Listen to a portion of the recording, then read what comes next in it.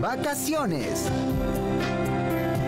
Una iniciativa del Ministerio de Educación.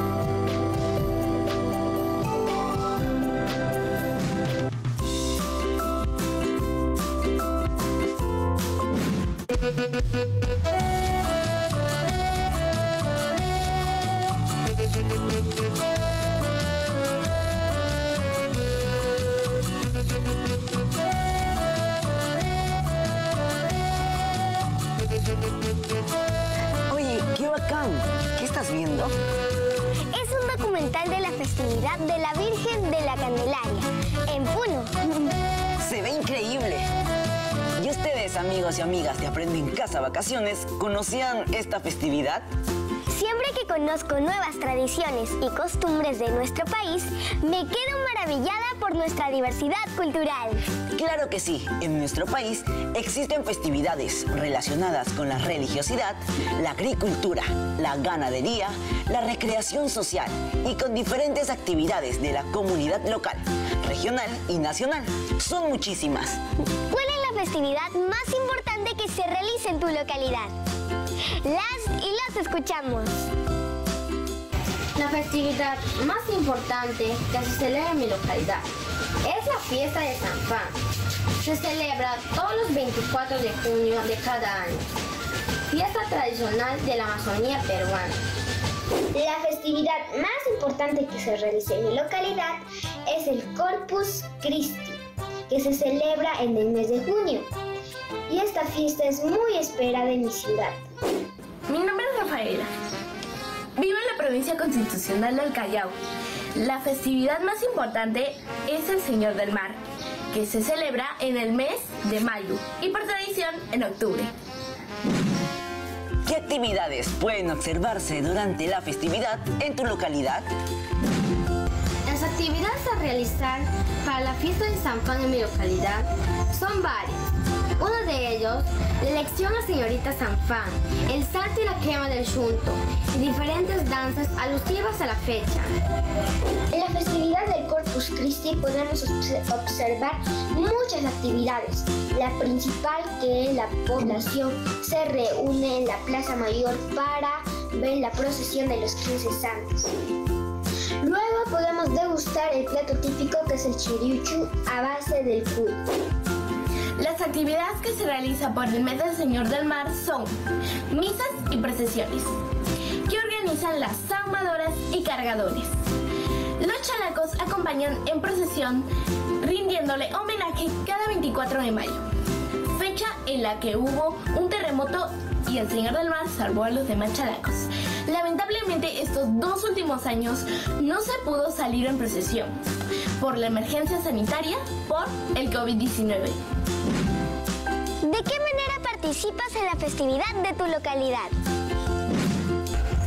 Para la fiesta de San Juan, participo ayudando en casa a preparar los ricos fanes y el delicioso refresco de cocona, para luego disfrutar en familia y que viva la fiesta de San Juan.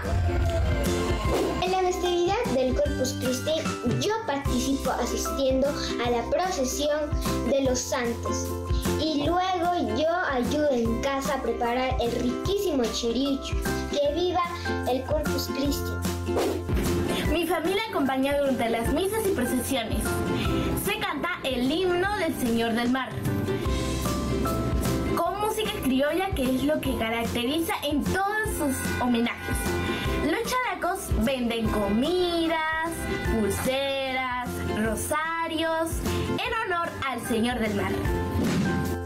Muchas gracias por compartir con nosotros. Qué maravilla conocer más de las fiestas tradicionales que se realizan aquí en nuestro país. Yo recuerdo que en el mes de octubre mi abuela me llevaba muy temprano a la iglesia Las Nazarenas, en el centro de Lima, pues salía el Señor de los Milagros en Andas. Cuéntame más. Yo siempre he escuchado eso, pero nunca he ido. Suena muy emocionante. Sí, habían muchas personas acompañando la procesión. Estaban los devotos con sus hábitos morados cargando las andas de la sagrada imagen. Y con ellos las saumadoras y cantoras. ¡Wow! ¡Qué bonita experiencia! experiencia! En algunas calles le rinden homenaje con música criolla. Se tocan valses y marineras limeñas. Es una gran fiesta. Yo tengo familia de Puno y en febrero siempre viajan a la fiesta de la Virgen de la Candelaria. Me han contado que se realizan diversas actividades, como novenas, la misa central y la procesión. Por eso estabas viendo el documental sobre esa fiesta. Sí, quería conocerlo un poco más. Espero ir el próximo año. Por lo visto, es una gran fiesta. Tienen diversas danzas que hacen como un pasacalle, ¿no? Sí, se realiza un pasacalle con los distintos grupos de danzantes, cada uno con sus trajes típicos y luces.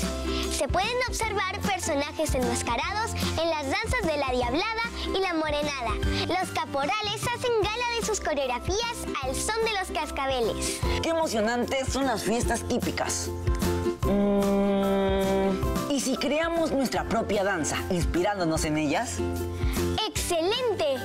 ¿Vamos a nuestro espacio creativo? ¡Vamos!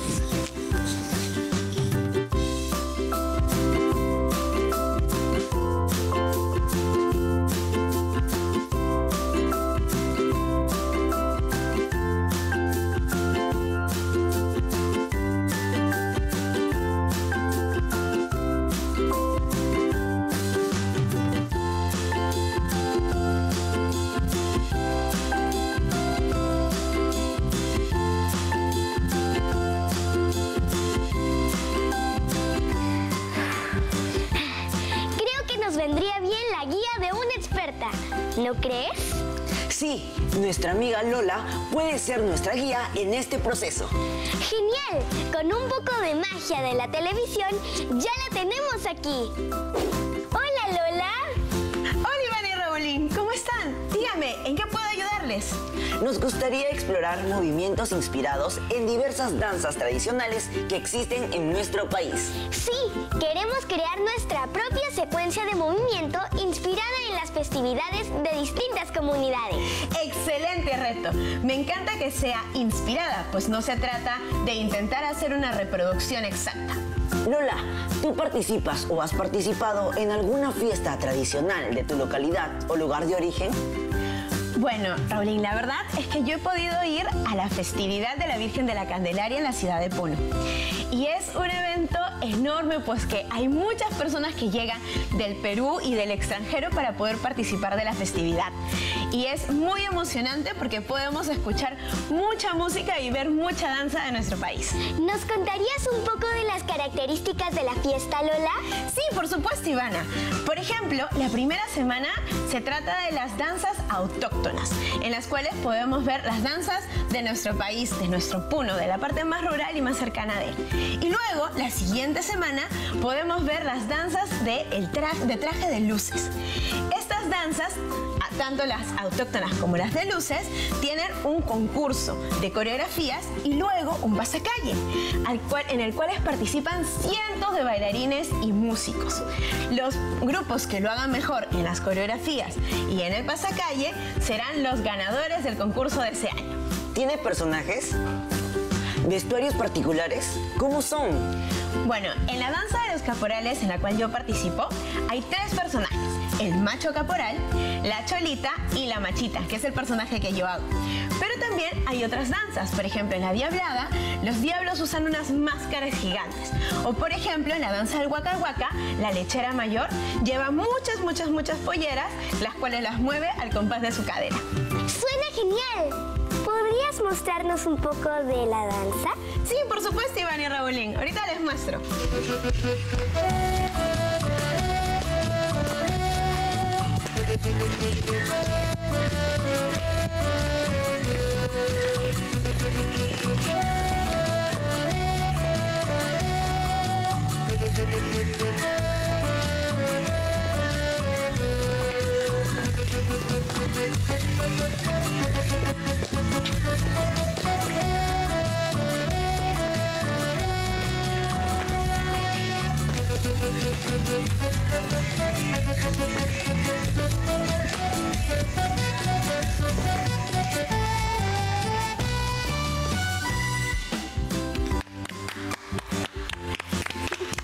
Muchas gracias, chicos. Increíble, quiero aprender esos pasos.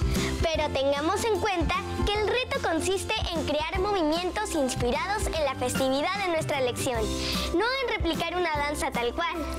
Así es.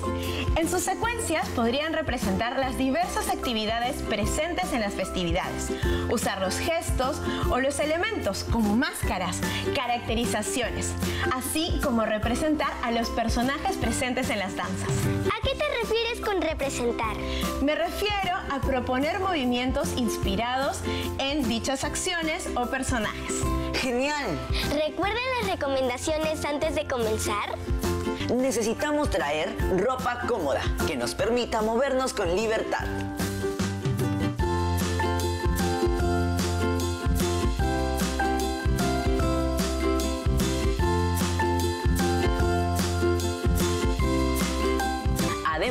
Es recomendable tener cerca nuestra botella de agua para hidratarnos y una toalla para secarnos el sudor.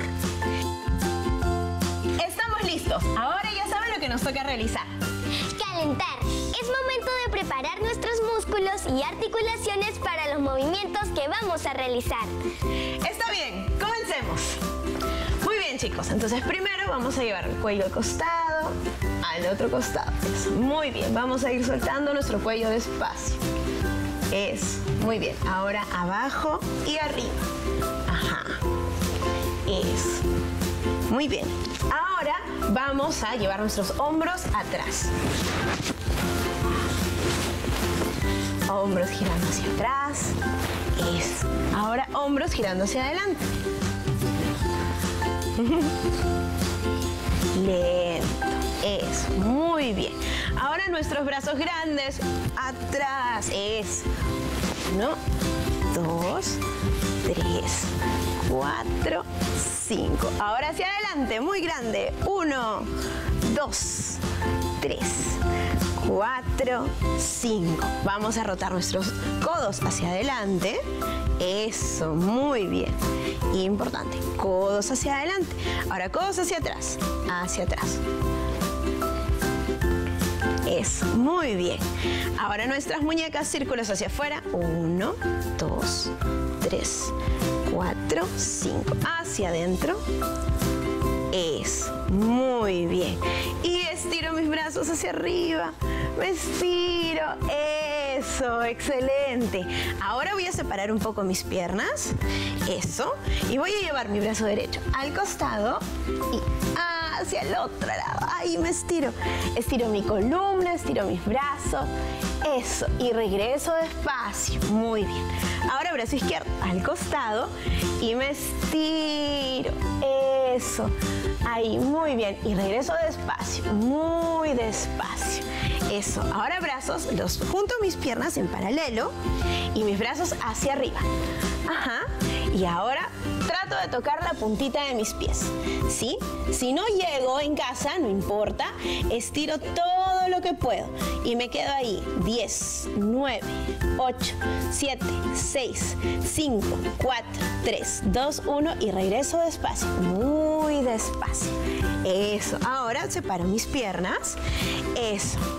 Y toco mi punta del pie izquierdo. Ahí estiro muy bien. Eso. Ahora la punta del pie derecho. Eso. Muy bien. Regreso. Doblo mis rodillas atrás. Adelante. Hago unos saltitos. Y estamos listos. Ahora ya estamos preparados para cumplir con nuestro reto. ¿Ya tienen elegida la fiesta de su localidad en la que se inspirarán para crear su secuencia? Si aún no tienen ninguna en mente, recuerden que pueden preguntarle a algún familiar si conocen cuál es la fiesta de su localidad. Tómense unos minutos para elegirla y ya volvemos. ¡Yes! ¡Seguimos estirando! ¡Sí!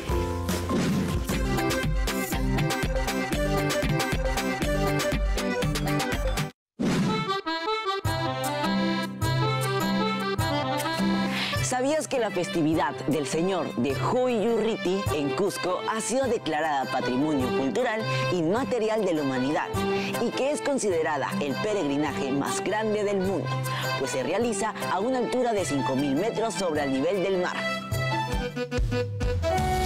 ¿Sabías que la festividad de la Virgen de la Candelaria también es patrimonio cultural y material de la humanidad por ser una expresión viva? Es increíble que más de una de nuestras festividades hayan sido declaradas Patrimonio Cultural Inmaterial de la Humanidad. Entonces podríamos cumplir nuestro reto inspirándonos en alguna de ellas. Así es. Comencemos. Comencemos a crear. Para empezar, podemos elegir el personaje que deseamos representar. Pensemos en qué rol cumple en la festividad. Por ejemplo, puede ser una autoridad, como el alcalde, o un participante como un danzante o un músico, entre otros. Ya sé, podemos preparar implementos o accesorios con materiales reciclados, inspirados en lo que se utilizan en la festividad, como sombreros, monteras, medias, pañuelos, bastones, cascabeles, cintas, capas, botines, globos, zapatos y máscaras. Buena idea. Pueden ser prendas que se mantienen fijas o accesorios que se mueven de un lado al otro durante la danza. A ver, exploremos. Acá tengo un globo. Esto es de, de la diablada, ¿verdad? Sí, ajá, y podríamos usar la máscara. Estos son como cascabeles. Ajá, cascabeles. Este sombrero. Los globos pues, los podemos usar, los podemos bailar aquí, pueden bailar acá. Esta vara. Los pañuelos. Interesante. Mantita, Esta especie de mantita. un pañuelo. A ver. Este globo. Pueden ser dos pañuelos también. Las posibilidades son infinitas. ¿Qué accesorios o prendas características tienen los personajes de la festividad que han elegido? Entonces, hemos elegido un personaje y tenemos algunos elementos que nos ayudarán a personificarlos. Así es, pensemos en la postura del personaje. ¿Es rígida, flexible, pesada o liviana? Por ejemplo, puede ser rígida o flexible, pesada o liviana. Elijamos la forma en que mi personaje se desplaza durante la celebración. ¿Cómo se mueve? Camina, trota, galopa, salta. ¿A qué velocidad se desplaza? ¿Rápida, regular, lenta, muy lenta? También podemos combinar las formas de desplazamiento, así como las velocidades.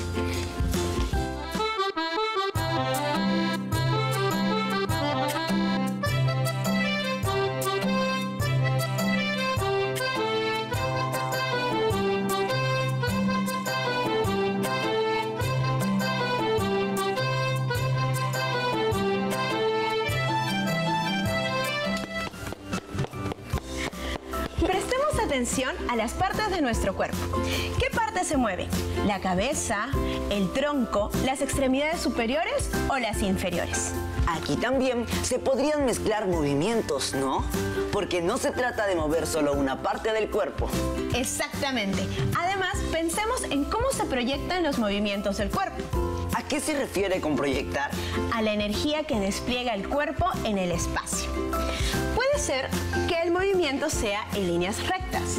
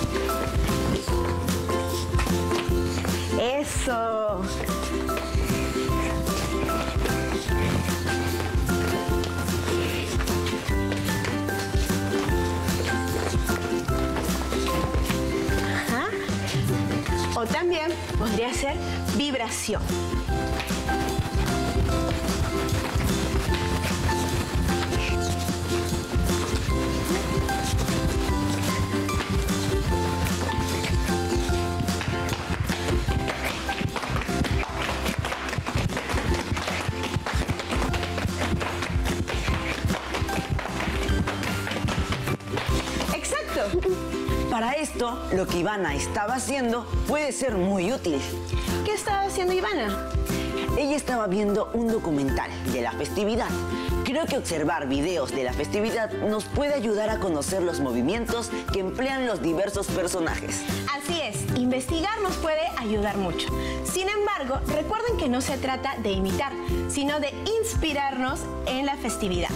Así que pueden salirse de la estructura que observan y probar otros movimientos, incluso algunos que no aparecen en la danza, como saltar, pausas, etc. Entonces, en función de lo que voy probando y encontrando, podemos elaborar una secuencia aplicando diversos tipos de movimientos con distintas partes del cuerpo y a la vez tomando en cuenta las diferentes maneras de desplazarse. ¡Wow! Son muchos aspectos a la vez. Como ven, también puedo formar figuras y diseños con mis desplazamientos en el espacio, como círculos, cuadrados, rombos, diagonales, etc. ¡Claro que sí! Creo que también podemos incorporar los sentimientos que expresa el personaje al realizar la secuencia. Hay devoción, júbilo, reflexión, tristeza. Claro, puedes ordenar las emociones según las intenciones de tu personaje. La propuesta final deberá incorporar los elementos y momentos comentados. Creo que ya entendí. Recordemos que la secuencia se inspira en una de las festividades más importantes de tu comunidad, así que también puedes incorporar tu toque personal. Gracias, Lola. Sí, entonces vamos a jugar, probar y experimentar. Muy bien. Veamos lo que han logrado. Yo elegí la fiesta de la Virgen de la Candelaria. Aquí voy.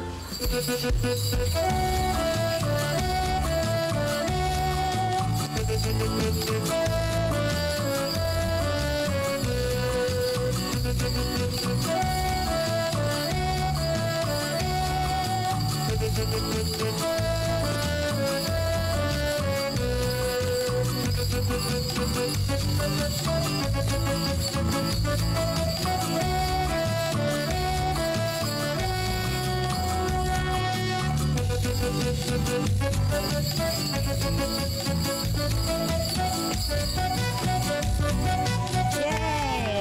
bien, Ivana. Muy bien, Ivana, excelente. Ahora, Raulín, Yo elegí la fiesta de San Juan, de Iquitos.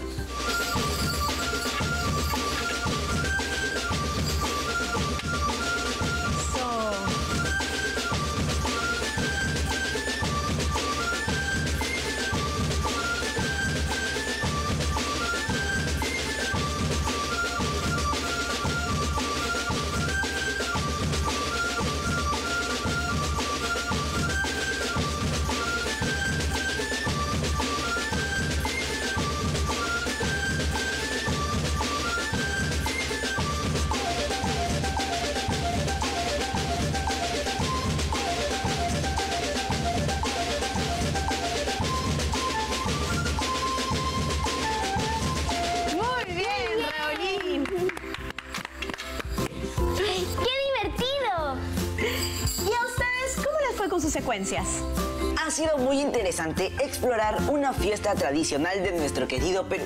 Gracias, Lola. Recuerden que todo es parte del proceso. Si en algún momento hay algo que no les gusta, pueden seguir probando cosas nuevas. Cada uno de ustedes decidirá en qué momento ha terminado y lo que hará será algo único. Ya nos vemos chicos y chicas.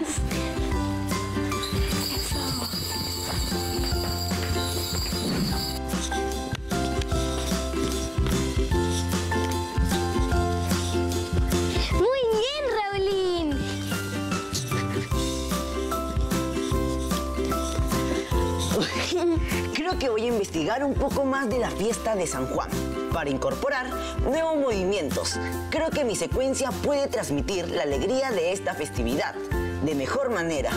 ¡Genial! Yo también seguiré viendo más videos de la fiesta de la Candelaria. Mm, también hablaré con mis abuelos para que me cuenten más de la fiesta. ¿Cómo se sintieron ustedes creando sus secuencias inspiradas en una festividad de su comunidad? Me ha gustado mucho realizar diversos movimientos para representar personajes. Mi parte favorita ha sido transmitir las intenciones de los personajes según su rol dentro de la festividad. Pero creo que nuestro aprendizaje más importante ha sido crear una secuencia organizada inspirados en las festividades. Sí, me divertí mucho recreando situaciones, espacios y personajes a través de mi cuerpo y sus movimientos. Entonces, sigamos. Ya nos vemos chicas y chicos. Sigamos disfrutando nuestras vacaciones.